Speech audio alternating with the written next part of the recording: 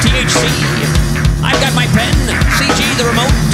Laurel Hardy's the best bet at 4 a.m. on a Friday. No dreads about the working day after, though. Funny thing about weekends when you're unemployed, they don't mean quite so much, except you get to hang out with your working friends. We got a spaghetti western here on 36. I like spaghetti. I like the way the boots are all reverbed out walking across the hardwood floor. In fact, everything's got that big reverb sound. Go? Pull the plug? We need new pornos. Guess I'm still writing.